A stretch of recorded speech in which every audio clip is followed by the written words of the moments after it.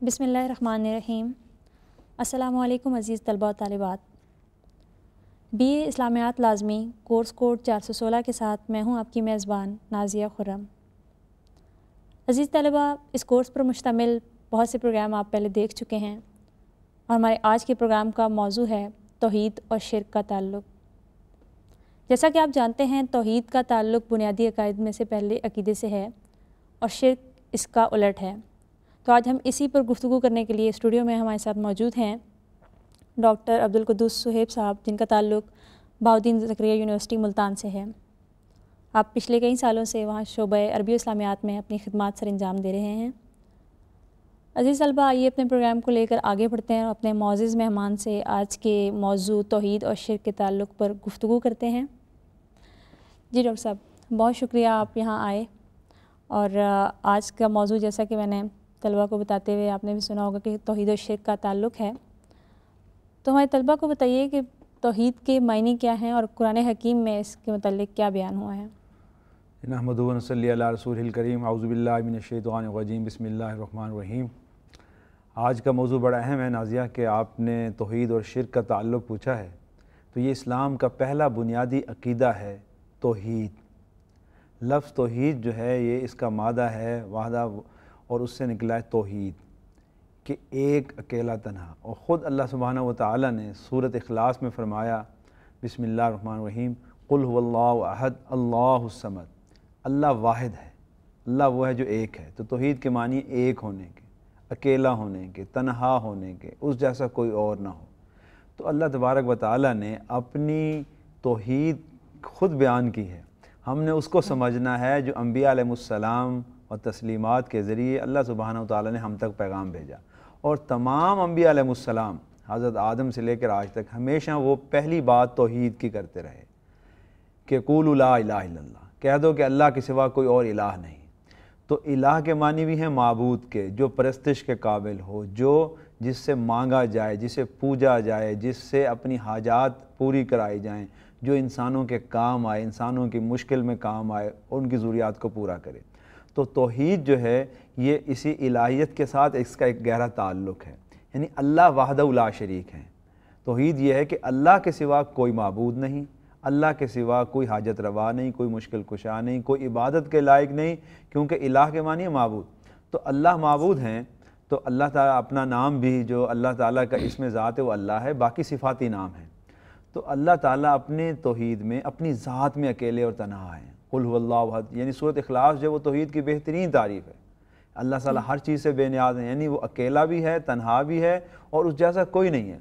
बल्कि कुरान मजीद में एक और आयत बड़ी खूबसूरत इस हवाले से लई सा कमिस ली शयून, कि उस जैसी कोई और चीज़ है ही नहीं। यानी किसी और की मिसाल भी नहीं दी जा सकती ना तोहद के अंदर, कि जी फ़लाँ जैसी तोहद या फ़लाँ जैसा अल्लाह। नहीं नो अल्लाह जैसी कोई मिसाल ही नहीं है। किसी चीज़ की मिसाल भी उसे, वो अकेला, अपनी ज़ात में।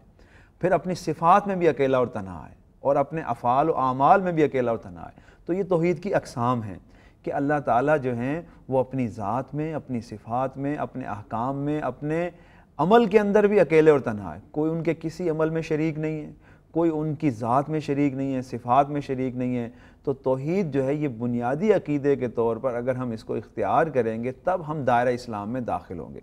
तो इसलिए इससे तमाम ने मुफसरीन ने मुहदसिन ने और फिर इसी तरह से असलाफ़ ने अपने सहाब कराम रज़ी अल्लाह अजमैन ने जो तोहद है इसको बुनियादी अकीदा करार दिया।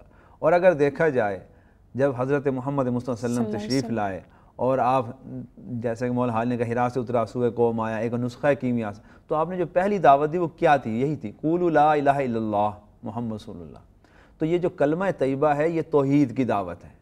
ये तोहद के मानी व मफहूम को समझने के लिए इस कलमे को अगर आप सामने रख लें ला इला मोहम्मद रसूलुल्लाह कि अल्लाह के सिवा कोई मबूद नहीं अल्लाह वाहिद और तनहा है इबादत के भी और यानी जब मबूद है तो परस्तिश भी उसी की इबादत भी उसी की तमाम हाजात और ज़रूरियात भी वही पूरी करने वाला है और कोई नहीं है और मोहम्मद अलैहि वसल्लम। अल्लाह के रसूल हैं। अब यही दावत आपने दी मक्का में और इसी दावत से आपने आगाज़ किया। और हर नबी की यही दावत थी और हमारे नबी वसल्लम की भी दावत यही रही कि अल्लाह के सिवा कोई मबूद नहीं है।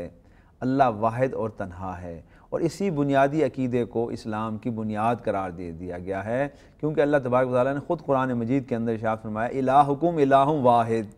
तोहीद की और तारीफ़ कर दी कि इलाह तो वो है जो अकेला और तनहा है। यानी ये हो नहीं सकता इलाह के साथ कोई और हो। एक इलाह के अलावा और इलाह। मबूद एक है। बहुत ही अच्छा हमारे तलबा के लिए आपने लफ्ज़ तोहीद को वाज किया। इसी के साथ हमारे मौजू में दूसरा लफ्ज़ है शिरक। तो हमारे तलबा को ये बताइए कि शिरक के क्या मायने हैं और इसका आगाज़ कब हुआ? जबकि हज़रत आदम तो तोहीद ही का, की दावत लेकर आए थे, उन्होंने तोहीद ही का पैगाम दिया तो उसके बाद शिरक का आगाज़ कहाँ से हुआ? जी, जैसे मैंने कहा ना, तोहीद जो है, ये अल्लाह ताला के लिए ही इस्तेमाल होता है।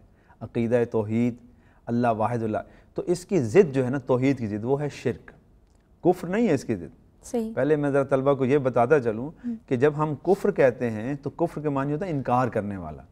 शिर के मानी क्या है? शरीक।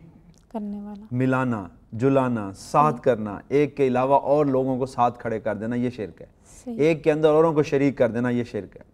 तो हम कहते हैं ना कि ये यानी जो काफ यानी जो कुफ़ार हैं जो इनकार करते हैं वो तो काफिर हो गए। लेकिन शिरक जो है वो हो सकता है कि वो तोहीद को मानता हो लेकिन फिर भी शिरक करता हो। क्योंकि उसने शरीक करना है ना।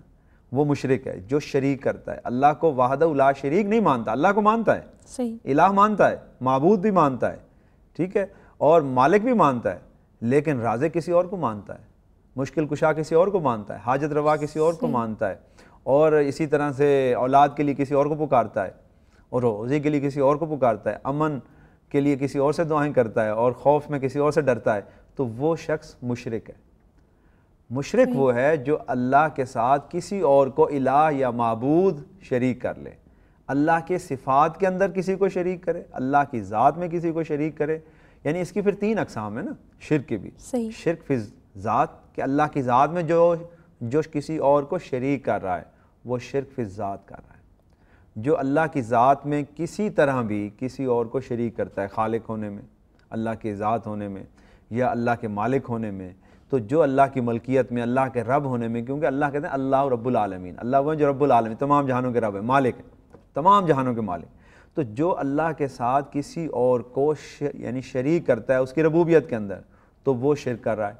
जो अल्लाह की सिफ़ात में किसी को शरीक कर रहा है, उसके खालिक होने में, उसके राजिक होने में, उसके उसके मुश्किल कुशा होने में, उसके रऊफ़ होने में, उसके रहीम होने में, उसके कहार और जब्बार होने में, उसके अज़ीज़ होने में, ये अल्लाह की सब सिफ़ात हैं।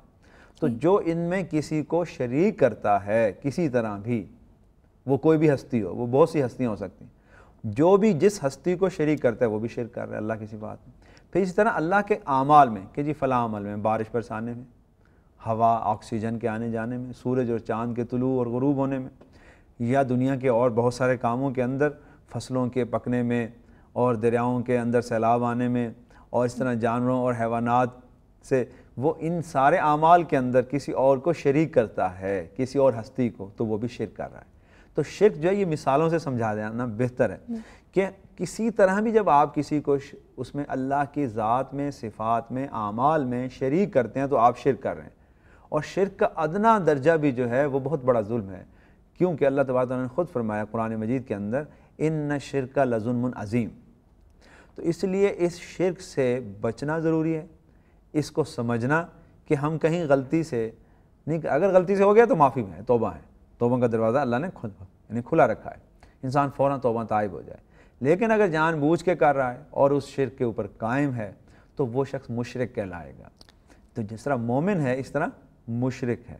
काफिर वो जो इनकार कर देता है। तो हमारे यहाँ ये गलत सही पाई जाती है कि मुशरक काफिर होते हैं। भाई, ज़रूरी नहीं है कि जो काफिर है, वो वो शिरक भी खा रहा हो। वो तो पहले इनकार कर दिया। उसने तो इनकार ही कर दिया कि नहीं अल्लाह। लेकिन एक मुसलमान शिरक कर सकता है। और ये एक गलत फहमी रही है हमेशा से अम्बिया की कौमों के अंदर। बल्कि अगर आप देखें जायज़ा लें पूरे कुरान मजीद में पढ़ें अम्बिया के वाक़ात कि जितने भी अम्बिया हैं, उनकी अकवाम ने शिरक ज़रूर किया कि जिसकी अम्बिया ने हमेशा तरदीद की और फरमाया कि तुम एक अल्लाह को पढ़ो तुम्हारा रब एक है, इलाहुकुम इलाह वाहिद, अल्लाह वाहिद अल्लाह वाहिद है। हर नबी ने यही कहा जितने अम्बिया आए ताबुदुल उन्होंने सबसे पहले दावत किस बात की दी कि अल्लाह ताबुद यानी एक अल्लाह की इबादत करो अल्लाह के सिवा और कोई नहीं है। ला ताबुदू नहीं इबादत करो सिवाय अल्लाह के किसी और तो तमाम अम्बिया हज़रत नू से ले लें। सबसे बड़ा शेख हज़रत नू के की कौम ने पहले से शुरू किया। आदम तक तो बात ठीक थी लेकिन आपने पूछा था आदम के बाद? हज़रत नू की जो कौम थी, यानी हज़रत आदम की आखिरी औलाद में शिरक शुरू हो गया। तो जब शिरक शुरू हुआ तो हज़रत नू आए। तो हज़रत नू की कौम जो थी, वो इंतहाई मुशरक कौम थी और शिरक में इतनी गहरी उतरी हुई थी कि आपकी 900 साल की जो रिवायात में आता है 900 साल की जो आपकी दावत व तबलीग है, वो पे, उन पे असर ना किया उसने, यानी बेअसर हो गई। तो आखिर अल्लाह ने अजाब भेजा और ऐसा अजाब जो आज तक इस कायनात में नहीं आया। इसी तरह कौम आद और कौम समूद और जितने भी सबका अकवाम हैं, अगर आप उनके हालात देखें, बनी इसराइल ने जब शिर किया बछड़े को महबूद बना लिया तो अल्लाह ने वहाँ भी बहुत डांट डपट की। हज़रत मूसा ने खुद आकर उस पर झगड़ा किया मतलब अपने भाई से झगड़ा कर रहे थे तो उसने कहा कि नहीं भाई, ऐसा ना करो, मैं तो इनको समझा रहा था।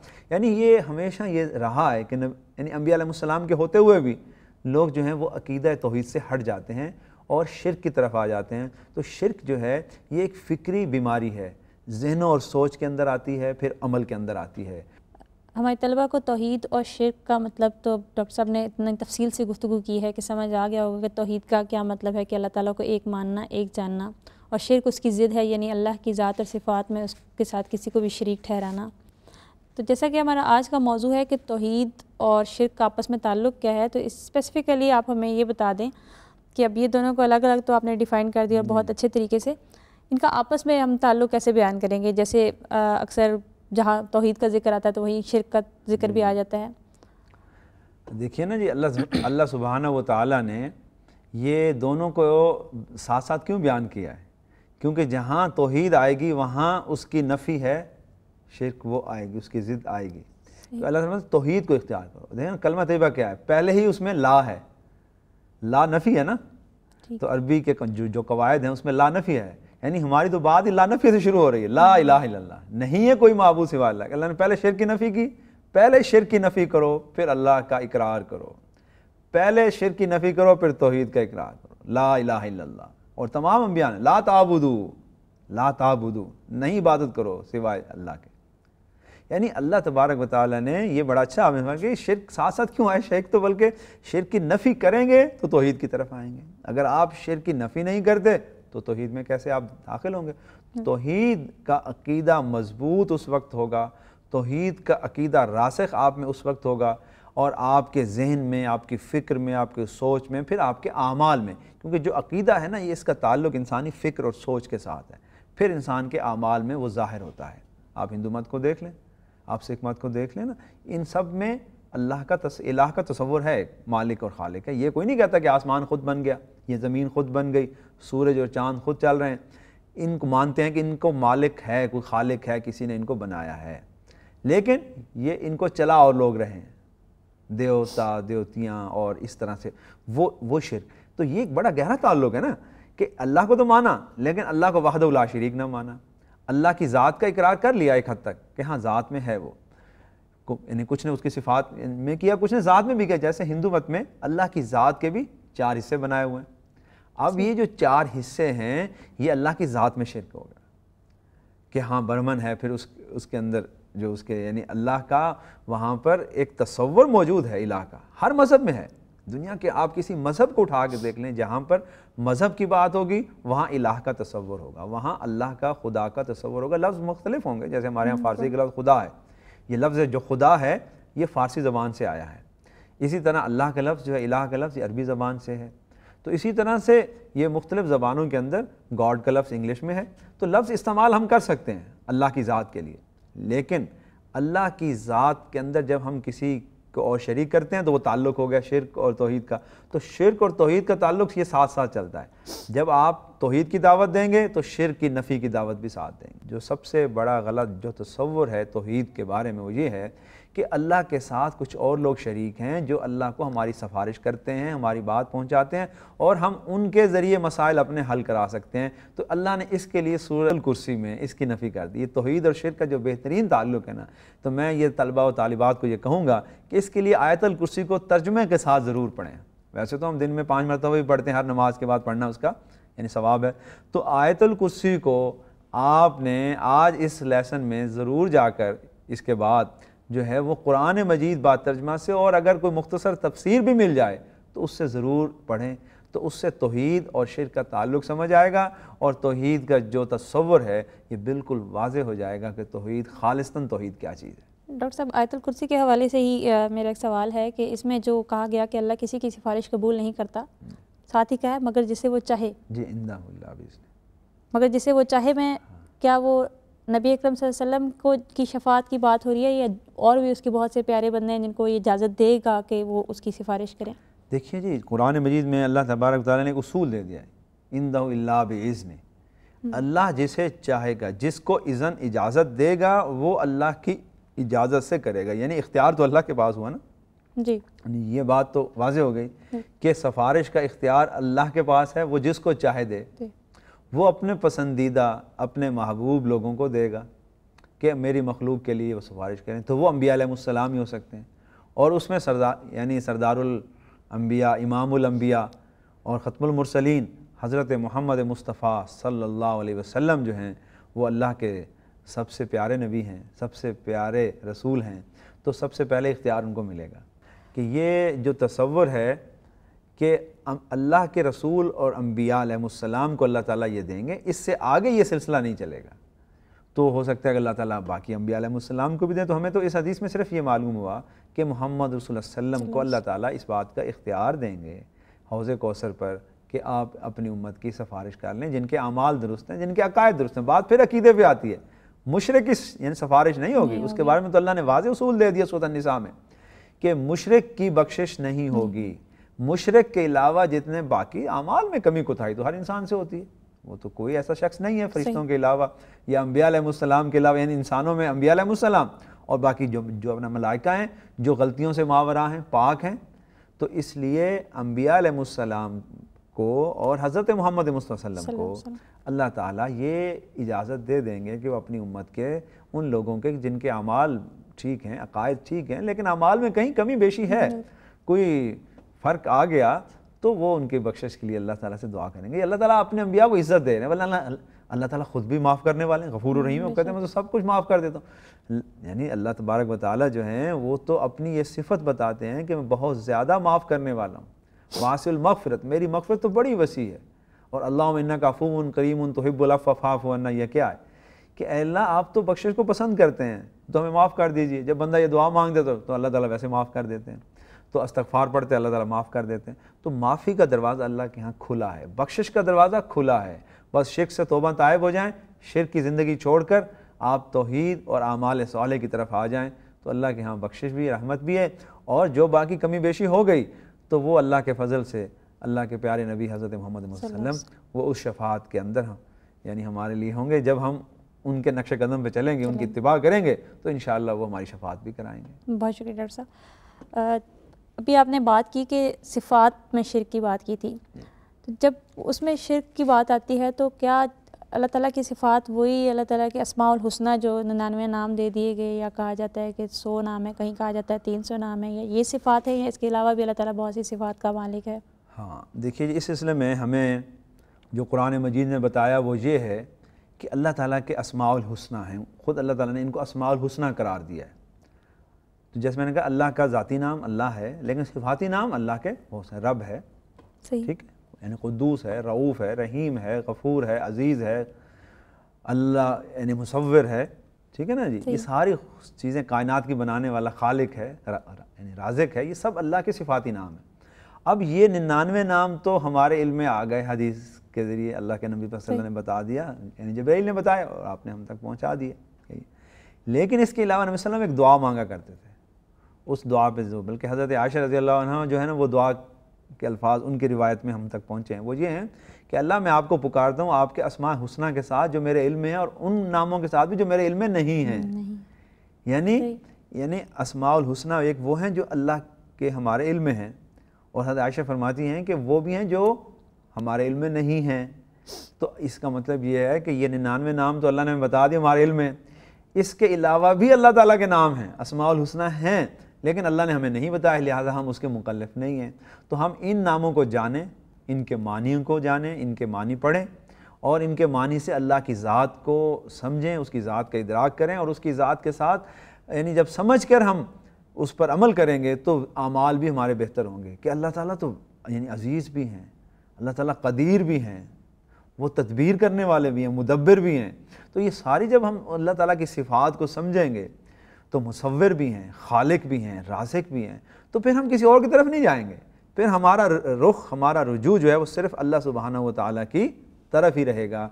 तो इसलिए मैं तलबा तालिबात को ये कहूँगा कि वो इन सिफ़ाती नाम का मुताल करें अल्लाह के असमाउल हुसना का और इनके अल्फाज सिर्फ़ अरबी में नहीं इनके उर्दू में अंग्रेज़ी में मानी को जाने। जब मानी समझ आएँगे तो अल्लाह सुबहान तला की ज़ात को समझना आसान हो जाएगा और तोहद पर कायम इंसान मजबूती के साथ होगा।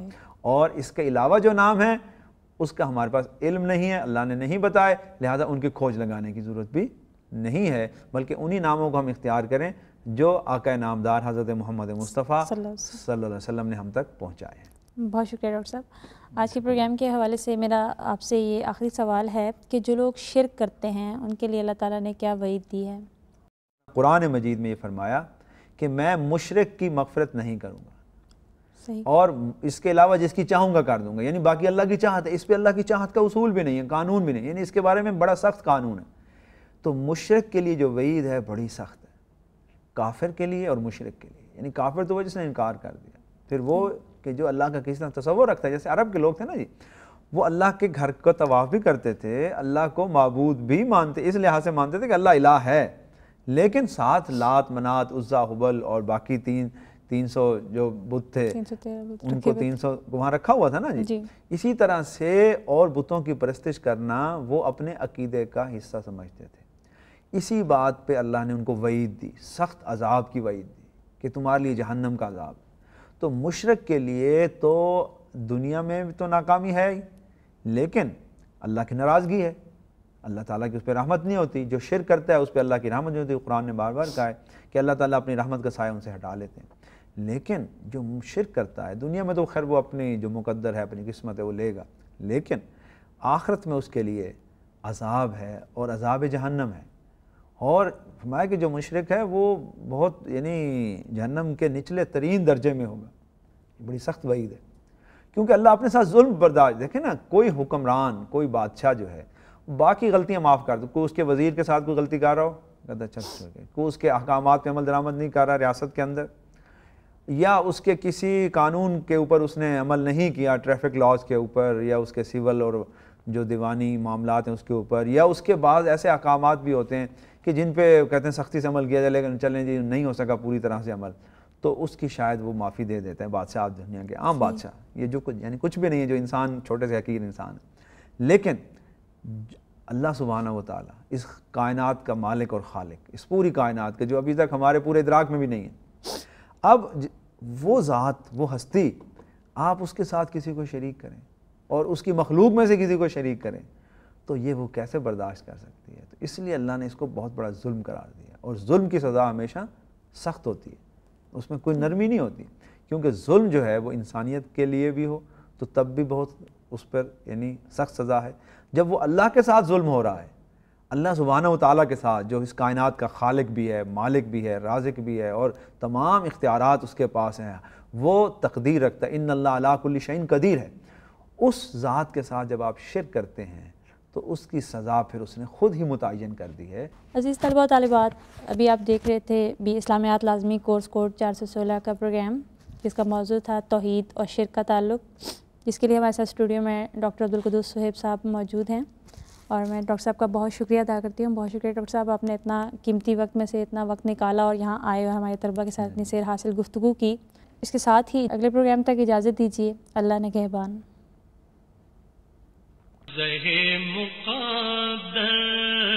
हुजूर हक से सलाम